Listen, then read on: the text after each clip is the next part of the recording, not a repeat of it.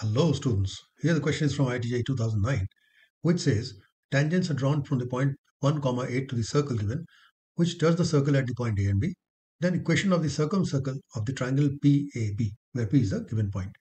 Now we can solve this in two different ways. Let's go by the first method.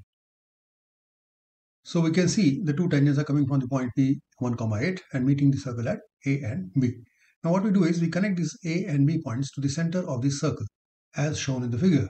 Now we can see that these two angles which the radius makes with the tangents are 90 degrees.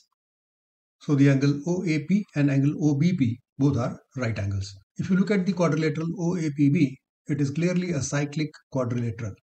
The reason being the opposite angles are supplementary being 90 degrees each.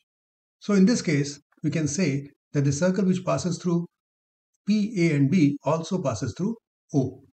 So you can see in the figure here, if OAPB is cyclic quadrilateral, it means the circle which passes through PA and B also passes through O.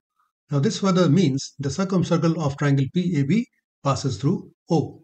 And not only that, since angle OAP and OBP are 90 degrees each, that means OP is going to be the diameter of the circle. It is known, we know O and we know P, we know the ends of the diameter form, you can write the equation of the circumcircle very easily the equation as x minus 3 into x minus 1 plus y minus 2 into y minus 8 equal to 0. So this is the equation of the circle as required by the question B of this question which is correct.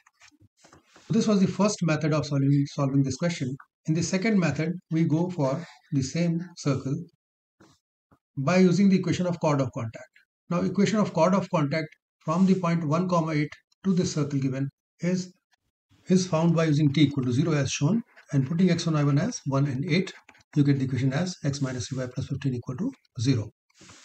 Now the equation of the circle which passes through the intersection of our circle and the chord of contact which is a line is given as s plus lambda l equal to 0. s is the equation of the circle that we have. Now this is the equation of all such circles which passes through the intersection of the circle and this line. But we know one particular circle which passes through 1 comma 8. So putting 1 and 8 here in place of x and y, you get the value of lambda as equal to 2. Now putting lambda equal to 2, you get the answer. Put the lambda 2 in this equation, you can get back the same answer as you have got in the first method. So this is the option B once again as you can see from here.